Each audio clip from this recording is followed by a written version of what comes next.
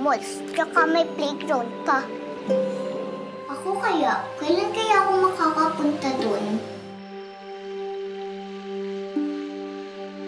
Ikaw? Never! Ano yung ginagawa mo? Naglalaba po. Naku, inutusan ka na naman ng maldita mong kakambal, ano? Ako nagagawa niyan. Hindi po, okay lang naman po sa akin eh. Hindi, kaya ko yan. Kaya kong gawin yan lahat. Masyado na kayo maraming ginagawa. Ang dahil sa akin, hindi na pwede kumuha pa ng isang katulong. Kaya ako na lang po tutulong sa inyo. Oh, ang daming kalat to. Tama ka, JJ. Dapat hindi ko ginawa yun. Bad example si Mumay. Sorry ah. Halika Mumay, pulutin natin. Sige, tara.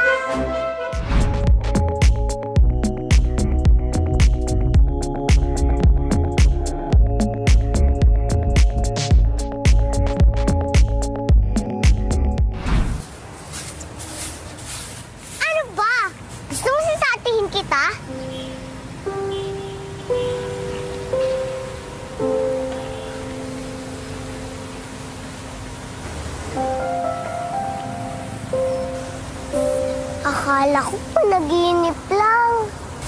Hoy, hoy, hoy, bata! Malis ka na dyan, magwawalis ako. Naglayas ka ba? Malis ka na, umuwi ka na sa inyo. Eh, sino bang ayaw umuwi? Sarili ko ang bahay, hindi ako makapasok. Akala ko nakatakas na ako dun sa mga kasamahan ni Ate Agnes.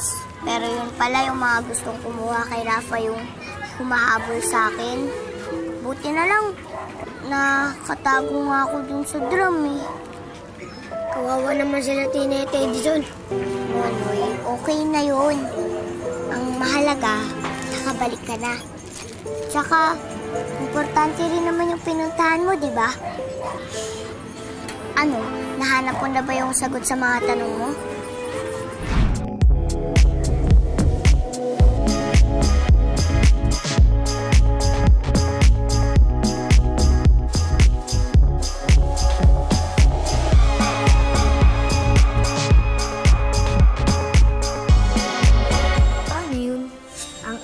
Instagram, kumuha ka ng picture, makakapagpadala agad. Paano naman ang Instagram?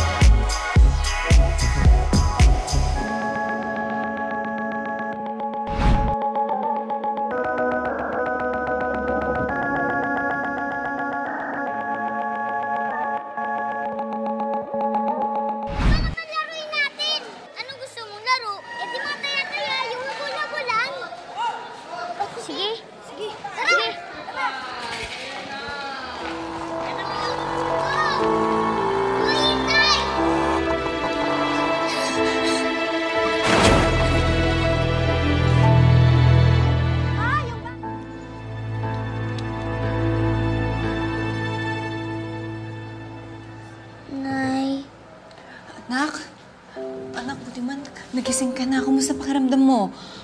Nay,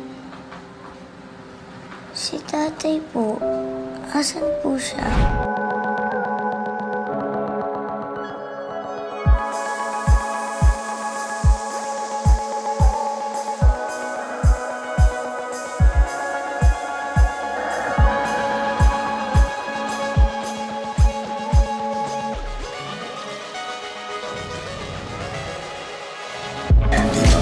Pero may mga doktor na nag-aasikaso sa kanya.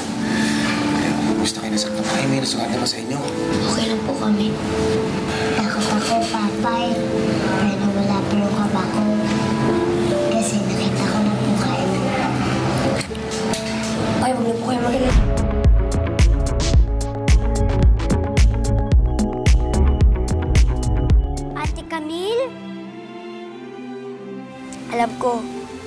Ko, makakasama ko siya.